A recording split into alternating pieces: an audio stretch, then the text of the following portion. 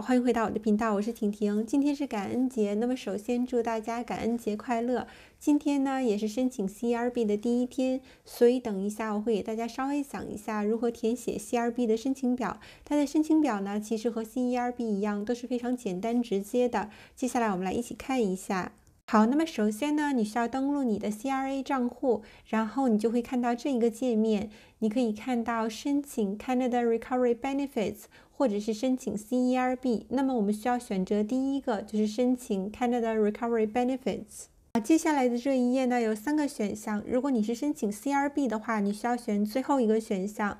那么前两个选项，第一个呢是你申请 CRCB，第二个呢是 CRSB。好，然后因为我们今天讲的是如何申请 CRB，所以我们选择最后一项，然后点击 Next，进入下一页。好，那么你现在所看到的这一页呢，一共分为三个部分。第一个部分，你可以看到所有的申请要求。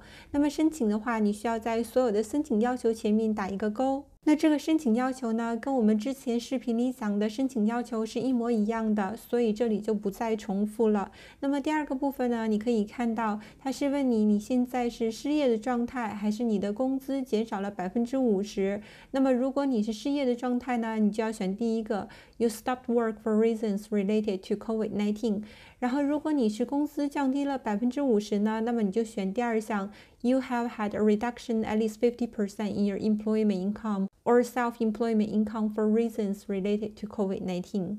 好，那么这个页面的第三个部分呢，就是你要选择你要申请哪一期。那么目前为止只有一期，就是 September twenty seventh to October tenth，所以你只要选择这一期就可以了。然后点击 Next，进入下一页。好，接下来这一页你是不需要填写任何东西的，它只是要你宣誓确认你是符合申请要求的。那如果你确定你符合申请 CRB 的要求呢，你就需要在最后的那个框格里打一个勾就好了。然后点击 Next，进入下一页。好，接下来这一页呢，它就是让你确定你的银行信息是准确无误的。因为接下来呢，如果你有关联你的银行账户的话，它会把钱打入你的银行账户里。当你确定你的银行账户信息是正确的之后，你就可以点击 Submit，就是提交你的申请。好，最后你就会看到 confirmation 确认的这一页，它会告诉你，你申请的这一期呢，九月二十七号到十月十号的这一期已经成功的申请完成了，在接下来的五个工作日之内，你会收到九百块的福利。好，今天的视频很短，主要就是给大家讲一下如何填写 CRB 的申请。那么申请我们填完了，接下来我们可以回去继续过我们的感恩节了。那我们今天就讲到这里，我们下期再见，拜拜。